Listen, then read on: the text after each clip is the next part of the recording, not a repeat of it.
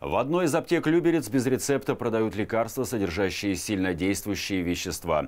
Такую информацию получили сотрудники управления по контролю за оборотом наркотиков Московской области и начали проверку. Удалось установить факт, что таблетки трамадол действительно продавались без рецепта, а это категорически запрещено. Сбыт происходил исключительно за наличный расчет без кассового чека. При поступлении товара в аптеку сотрудники избавлялись от упаковки. Полицейские провели обыски в аптечном пункте и по местам жительства четырех фармацевтов. Обнаружены и изъяты более 8 тысяч блистеров с сильнодействующими веществами трамадол и лирика. Также изъяты документация, мобильные телефоны и электронные носители информации. По данному факту Следственным управлением МВД России Люберецкой возбуждено уголовное дело. Сейчас устанавливаются все участники преступной цепочки.